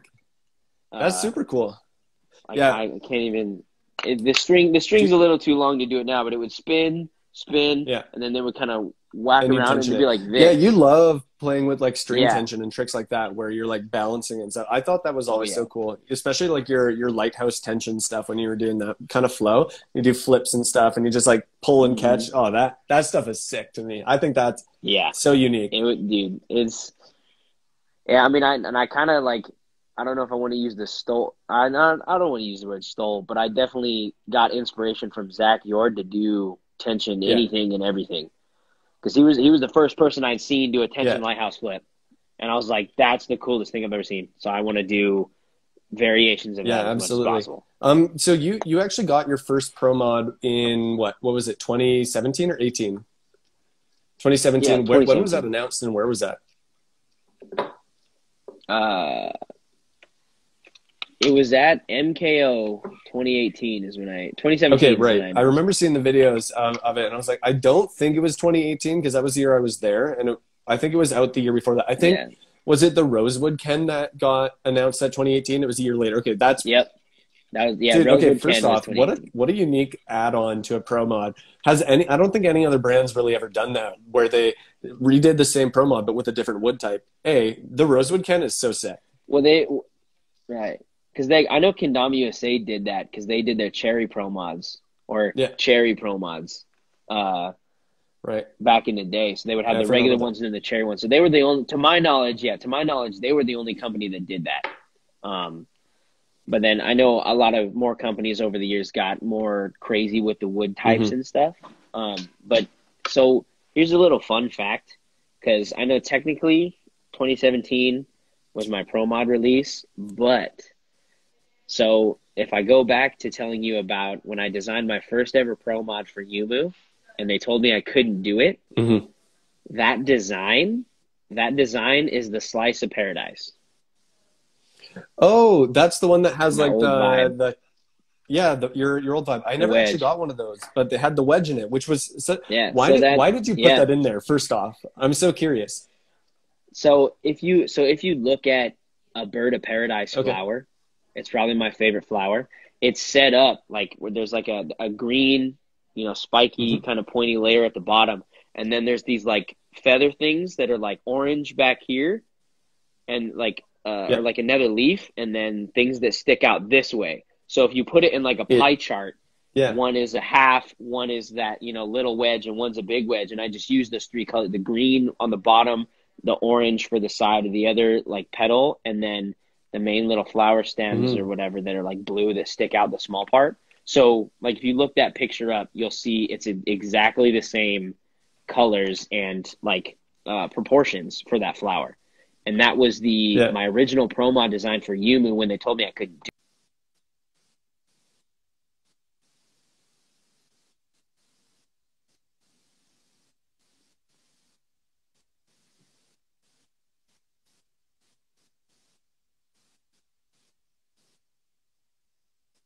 hmm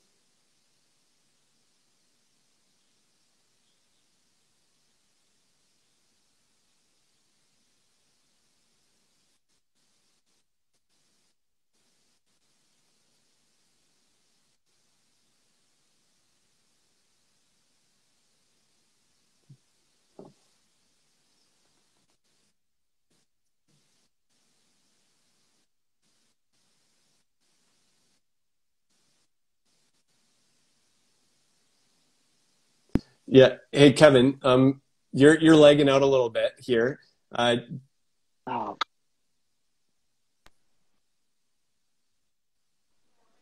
Hello. yeah, I, I can hear you. Um so hopefully the recording gets it afterwards, but I think you're good now. Yeah, yeah, you're good. Am I good now? Okay, sick. What was So- the last thing? I, So yeah, what was the I, I could hear you. I'll, I'll give a little recap for those that, that weren't able to hear yet. Oh, okay. Uh, hopefully, hopefully you're back now for everybody. Hopefully, uh, chat. Let me know if you can hear Kevin now. But um, you were you were talking about your mod and how you were you weren't able to get a design by by Yumu, but you were able to get a design as a vibe with Chad and with Sol, and kind of catching us up on what that process was Yeah. like. Yeah. So it was it was really cool to um like just see my first ever design be like physically in my hands, even though Mhm. it wasn't like a pro mod for Sol or whatever, but it was still some like a design that I put, you know, like a lot of thought into. Mhm. Uh and so now that now that it's been, you know, now that it got released, I was like it's extra special for me regardless if it's just like Mhm. a vibe or whatever, but for me it was something even more. So that's a little fun fact for the people is that my first ever vibe was based Yeah. on my old pro mod for Yumu that I, that That's super cool, man. And I, I, we don't need to dive too deep into your your pro mod. Uh, this one here, Uh, because I know a lot of that conversation was actually de- delved into with the Dominerds and the design. But do you want to give like a quick snapshot in terms of design on on this pro mod here? Because I think it's one of the most unique designs, and there's a whole story behind the wavelengths on here that I remember hearing about. But do you want to give us a quick snapshot on that mod? So you have uh like so the base cup where my like logo is is like um an old school like old school drummers like Buddy Rich back in Mhm. the day had like their the uh, the front of the kick drums had their little logo with their emblem with their initials. And I and I've been playing drums since like sophomore year of high school. Um so I had to have something like that on there. So I just put at the base cup, put a bass drum head uh with my initials cuz I you know I was I'm Mhm. known by KD so it was perfect. Um, then you go to the beatbox, which is uh, me trying to be funny uh, because it's a beat and a box. And I've also done beatboxing since like middle school. So that's always something that's been in my life Mhm. as well. Then you flip it around and you have the EYR, which is experience your rhythm, because the whole Pro Mod is designed based off of sound, rhythm, uh, anything to do with, with, with rhythm, you know, even the sound waves on the Tama and we get to that, and that's just describing my three kind of favorite types of music, which is jazz for the blue, uh, funk for the purple, and then green. That's the sweet. And there was a whole like mathematical formula that went into making those lines line up right, which I think is the coolest story ever. I, I don't want to dive into it because I don't want to just re- rehash what was talked about. I think people should go and listen to that Yeah. episode of the Dominerds and get the, the full Mhm. story there because you really dive into it there. And, it, and it's so cool, first off. What a Yeah. unique way of designing. It's not just art. There's actually like a science and a music that goes into it. It's like the Kendama Right. lives. It's got life to it. It's cool. right. Like I have old, like I have old. Uh, I'm gonna see if I can find it in here, bro, because I have like sketches of like OG like Yeah. wavelengths and trying to figure out like how I could get it. Uh, oh, where is it? Please let it be in Yeah. here, dude. I want to find this so bad. Now, now while, while you're doing that, um, I know this question has come in so much, uh, and, and maybe you can shed some light Uh-huh. because Sol Sol made an announcement that there's an upcoming Kendama that's supposed to be released this afternoon, uh, and and my Mhm. question for you is is that do you a do you know what it is? Do you know anything about it? And b uh, the other thing, it, it seems strange to me. You're the only pro that hasn't been updated to a, a new one up shape or a new mod or a new design. So do you want to do you want to talk to us a little bit about what's going on there? If you know what's going on on the Sol side. Um, yeah, it's yeah, I definitely have an idea what's going on. That's for sure. I mean, I would hope so. I'm on the team. You hope you Uh, got some inside info. right, but um, because it was we wanted the whole idea was I wanted my mod to live and die by the Sol Mm. shape. Um, so I didn't necessarily uh want to upgrade that exact one uh to like the new thing or whatever because I was planning something else. Um, but you know, Corona happened and yeah. slowed a lot of things down. So, so now it's kind of like, oh well, maybe we should do something. And I was like, ah, yeah, I think that's a pretty good idea. Uh, so it's so like basically, uh, what's dropping today uh, is this, um, which is the new, the new version of my One mod. of these? Um, yeah. Oh my yeah, one of those. Yeah. Uh, so it's on uh, it's on the one up shape, same engravings uh, that happened, and just new colors. The new colors being uh, like a yellow, orange, and like a Look teal. I don't know. So those See are the new can ones. get a good close up on this. oh my goodness. Yeah. So there's that. That's what's uh, that's what's dropping today. Literally, um, after this interview is done, and like right at noon, they're gonna be dropping. So. Oh my goodness. uh, Is this so? So what is this? Is this a new pro mod? What What is it, Kevin? Yeah, so this is this is this is officially the KD 1.5 is what Let's go.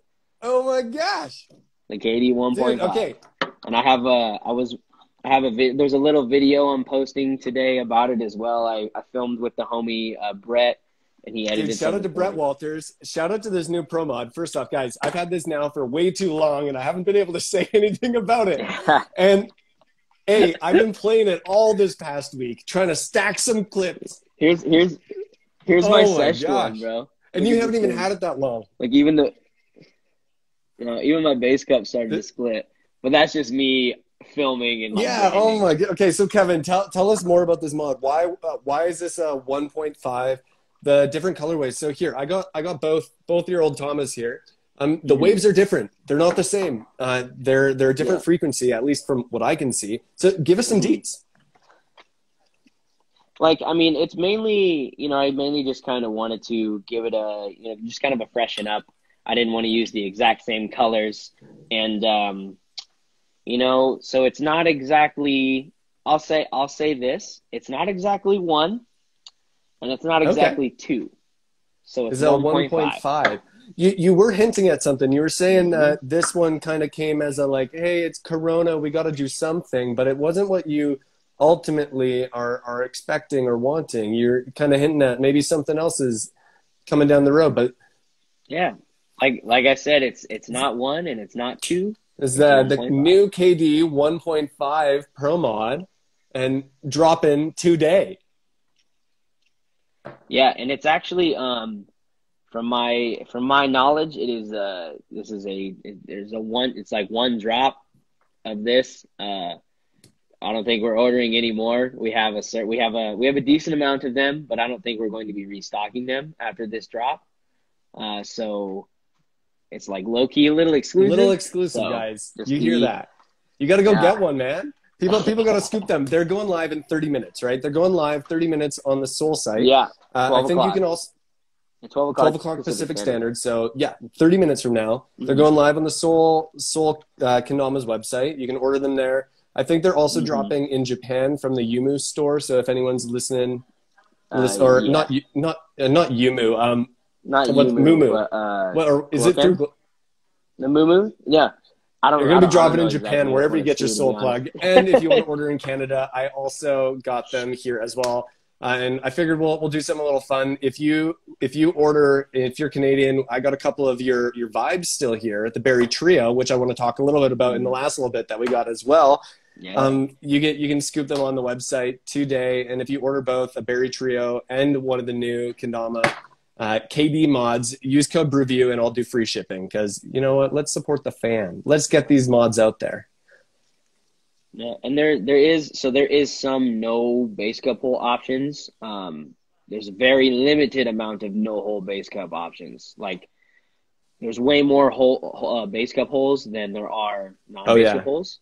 So, um, and what? So I'm just reading some of the comments. What kind of wood? The same woods in my old pro model, Ash Tama, Maple Ken.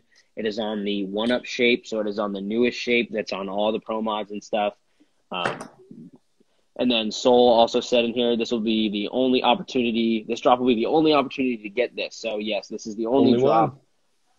that we are doing. Yeah, Canada, Japan, and USA drop. All of them have them in Come stock. scoop. So Absolutely. yeah, come go scoop. You know, in like Absolutely. 30 minutes. Okay, so in this next couple minutes, I want to chat about your career with Mm. Sol. What does this mean for you? Like, this is exciting. You've been with Sol for a long time. When when anyone thinks about Sol, they think Yeah. of I, I think one of the first associations is maybe Chad, but then secondly you, right? You've you've Mm. been around with Sol for so long. You've podiumed for Sol. You've competed for Sol. You've repped Sol for Mm. so long. Uh, this is exciting, man. Uh, how does Mm. it feel? Uh, I mean, it feels really great. Like it's just been it's been a fun ride to see like the rise of Sol. You know what I mean? Because Sol wasn't Sol wasn't as big as it is today. Mhm. You know, like four or five years ago. So to be able to be a part of that and to see it happen has been not like Yeah. nothing else. Like it's such a it's such a cool experience to see like the rise. yeah. You know. Uh, and I, I wouldn't change it for the world, man. I Dude, that's so cool, world. man. And and I, I think so. A like everybody knows, I I'm biased. I really love Sol a lot. Love Chad. Love Shelton. Love the whole team. So, so am Uh, I. So bit biased. I love I love everybody in Kendama, but but one of the things that I think is super cool uh, is that you've you've gone to design multiple kendamas, not just pro mods. That's one of the unique offerings of being on the Sol team is that you also get to design your own vibe. Yeah. And so you designed the Berry Trio, you've designed this, and your and your other one as well. Um, yeah, talk talk to me a little bit about the Berry Trio. I don't know if we've ever had an opportunity to hear much about So, it. yeah. So the berry, so the berry trio, I didn't even design. Um, fun fact. So my uh, my very close friend right now, Gabe, uh, who is at G G underscore and underscore Mhm. really. Um, I got him in. I got him into Kendama when I started working at Starbucks. Uh, he's a Nice. coworker of mine, and um, he's been getting really nasty at the game, and we hang out all the time. And I got to a point where Chad was like, "We need to do new vibes." I was like, "Oh, I can't do the Slice of Paradise anymore." He's like, "No, everybody needs to do a new one." I was like, "All right, all right." So I couldn't think of anything because I was I was working on other projects at the time, so I, I didn't really have all my focus. And I was like, "Let me see." I was like, "Let me ask Gabe to design it." Like, let's see what he can come up with, and then he can have you know it'll be like our vibe, like a, a it's through me, but it's his you know design completely. So I remember asking him, I was like, "Hey, how would you feel if I, you know, if you designed my next vibe for me?" And he was like, "Uh, what?" He's like, "Dude, of course I would want to do that for you. Like, people don't just get this opportunity." And I was like, "Yeah, dude. I mean, you're you're my homie. I want you to succeed in the community. I want you to get big. I want you to get sponsored. I want you to ha- have so much success because I've I've had so much success that I you know consider and like love about this game, and I want him to have the same kind of thing. So I was like, yeah, dude, go ahead and design it. So I kind of helped. I helped him talk with Chad about you know getting all the specs out and whatnot. And for all the people who are avid Starbucks goers, uh, there's a yogurt parfait called Berry Trio, uh, and that's why we named it that. Yeah. Okay. and it's also it's Is it? also Does like it look like that? the the colors. Yeah. Hold on. like, I have one right here next to me. I'm just gonna grab it so people can see it. Okay. Here you go. Right here. Yeah. So like so it's like blue raspberry, uh, raspberry and like blackberry. I think are the the berries that like Gabe Mhm. likes the most. And so we just kind of layered it like that with a natty top and natty bottom to kind of create like a cool little Yeah. tracking thing.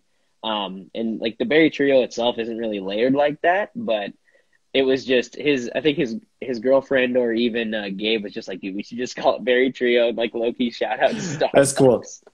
And I was like, that's perfect. I was like, that's perfect, bro. Let's That's cool. Hey man, Ke- oh, that's so cool, Kevin. This has been a really special episode. Well, we'll wrap it up here in a quick second, but I, I have a personal question regarding Starbucks. Now, it- you, Mhm. I'm sure you know I'm a big coffee guy. Um, admittedly, Starbucks Yeah. is not necessarily my favorite place in the world, uh, but I, I recognize its place That's in the fair. world. But one of the one of the questions I've always had, and- this is my interrogation uh, on behalf of the community. So, Starbucks is infamous for getting people's names wrong on their cups. Uh, are you Oh, told yeah. to do that? Because I have a conspiracy. Are you told to mess people's names up? Uh, no, Because not at all. It's it's one of those things where it's it it depends on the person who's taking the order and their interpretation of but they're how so bad. they would spell that name. No, I've dude, had someone I know. misspell like, my name. It's Adam. know. How do you misspell Adam? Right. See, some of that stuff I don't even get because I know at my store, like, we sometimes we get complicated names, and if it's a complicated name, we just go, "Can you spell that for me?" So like we we'll actually like we'll ask for you because like we don't want to get you their names wrong. See, like we no, no, no. I don't, I don't believe you. Like here's my conspiracy. I think you guys want to get their names wrong because if you think about it, when you get someone's name wrong on a cup, what are they going to do about it? They're going to take a picture of it and they're going to put it on the internet, and they're just driving more PR, more attention to Starbucks. right. That's See- my see, conspiracy. now, I'm that might be above my pay grade to legitimately know if that's true, but to my knowledge, like as a supervisor, like there we don't we do not teach them to get names wrong. At least in my specific store, we do not tell them, "Oh, type their name wrong Uh, on purpose." I've never said that in my entire life. Just wait, you're gonna get- taught that. You're going to get that Order don't know. 66 call soon where you're going to have to start getting everybody's names wrong. We're not getting enough PR at your store. Start, yeah, start spelling right, everyone's right, right. names It's off. just like, oh, Oh my goodness. That's funny. I've always wondered. It's, it's always been my, my back pocket conspiracy uh, theory. Just in, you know, you always got to have one for when someone asks, "What's your favorite conspiracy theory?" Mine's the Starbucks one for sure. Um, Did- man, I don't even like my favorite one because I think it's funny is uh that pigeons. Yeah, yeah. Oh, totally. cameras. No, they are. That's not even a question. That Why, one- that why one's that a conspiracy? It's it's to me that's the fun. Like a lot of conspiracies to me. I just enjoy how funny, like, so, and so, like ridiculous some of Yeah. them sound. So I just I just think that's Absolutely. kinda Well, hey, Kevin, we, we got a couple questions here still uh, that people want answered. Um, let's hit through a couple of these. Let me say first off, a Mhm. huge thank you for jumping on here. Uh, real exciting. Dude, of course, of course. Thank Ooh, you. I almost knocked over my tripod, but brand new Kevin DeSoto 1.5 mod going live in T minus 20 minutes on cafekendama.com, solkendamas.com, and wherever they're going live in Japan, they will be there as well. It's probably it's probably think so. I-. I don't remember. like. I'm like ninety percent sure. The guys, that's where it's limited drop. This is the only drop that's happening. If you miss it now, you're never getting one. That's just it. So go scoop, uh, go do that. So um, let's hit a couple questions here. We'll wrap it up, and then we'll uh, we'll send them on their way to go order one of these brand new KD mods. What do you think? Right. Beauty. Yeah. All right. Uh, we, we answered a couple of these questions, but one of the questions that I really like that's in here is uh, this one from Kendama underscore Jinchuriki 34. What is the most positive thing Kendama has done for you? um, all it's given me lifelong friendships that I didn't know Hmm. I would have. That's probably the most positive thing, and it's just a.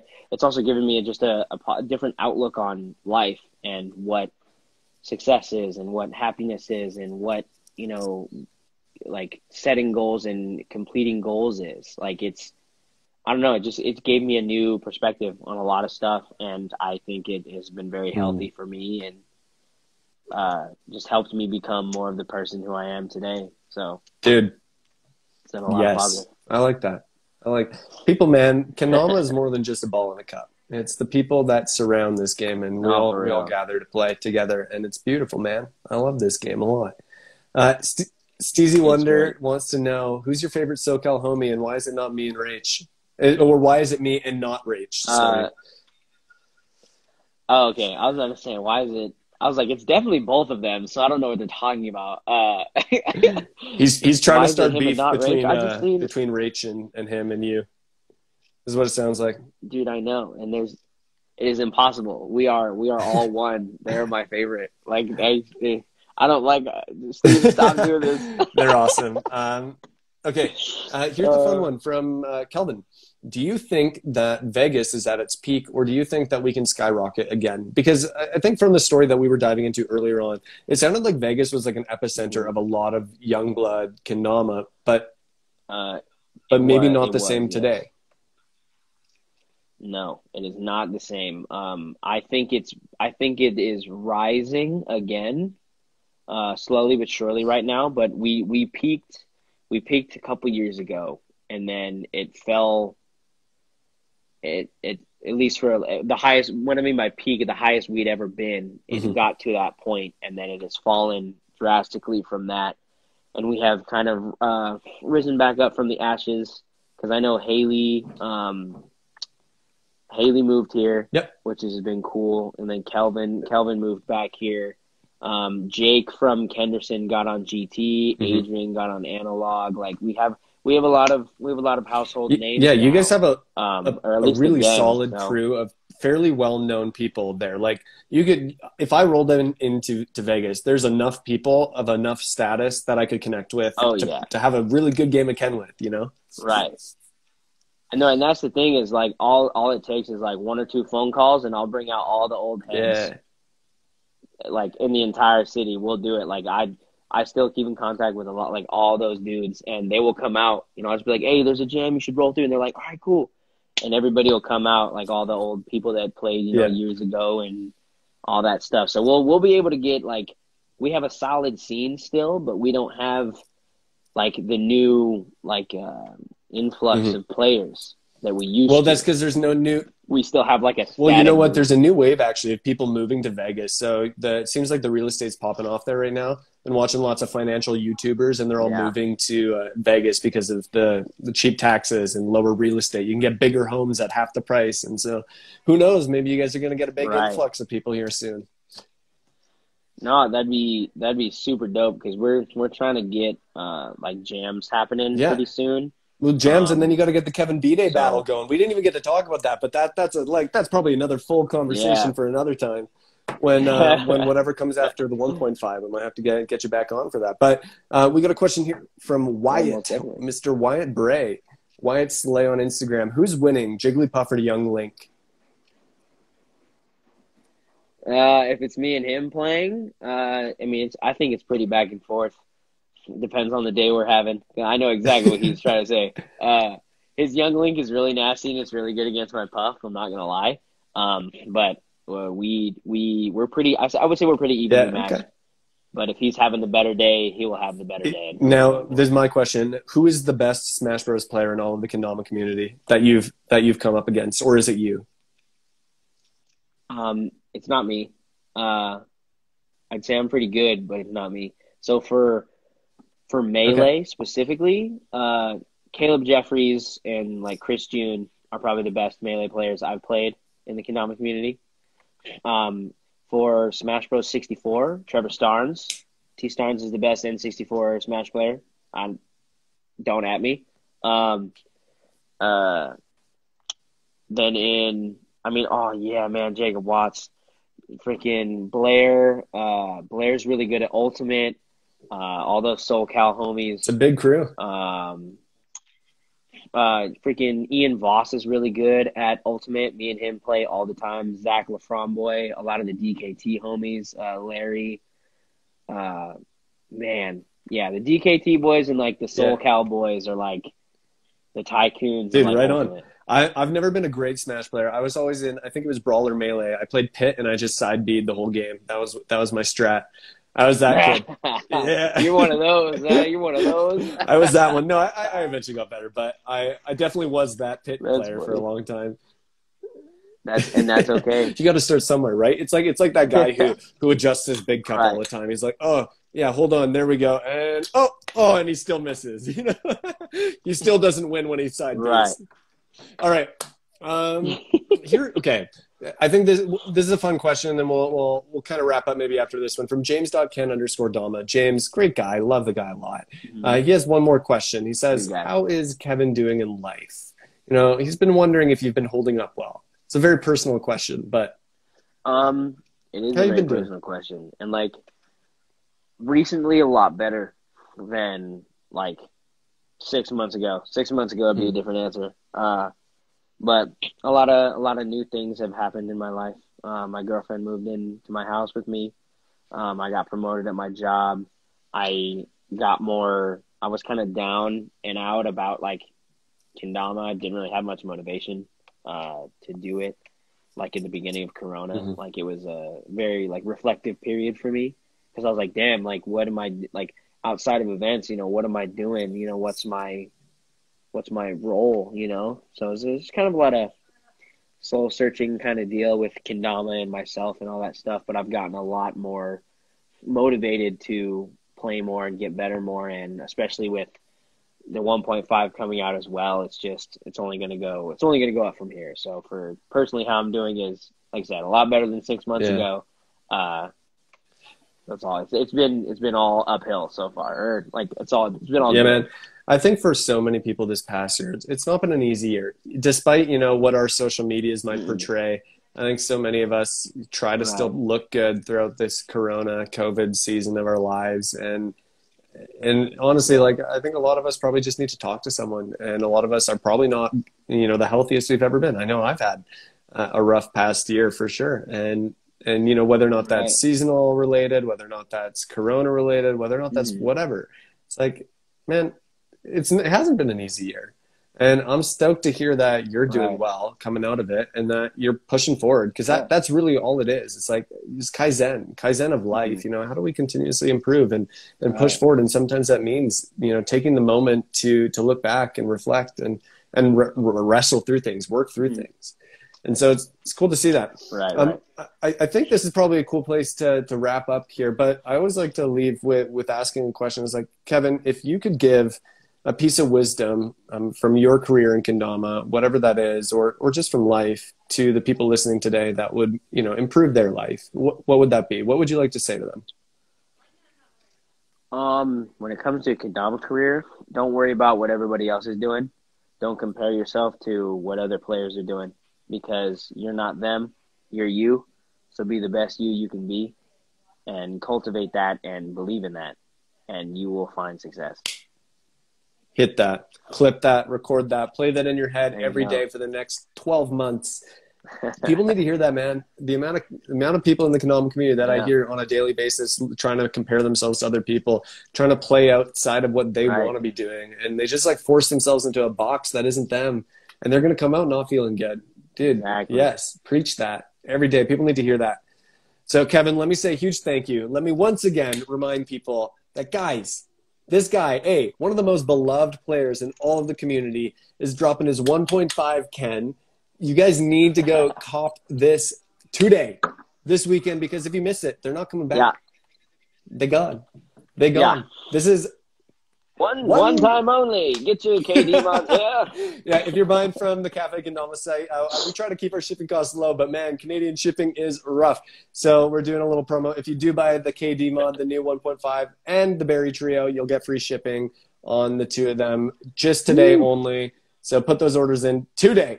And guys, we will see you next week with Colin Hislop on the Brewview. So we're looking forward to chatting with him. Ooh, that's my Dude, boy. Colin is another very beloved behind the scenes guy that everybody needs to get I to know. love Colin. Man. So, guys, we will see you all He's next amazing. week. Kevin, thank you so much for being on here. Thank you, man. I appreciate it. Absolutely. Appreciate Peace and congratulations. Thank you, brother.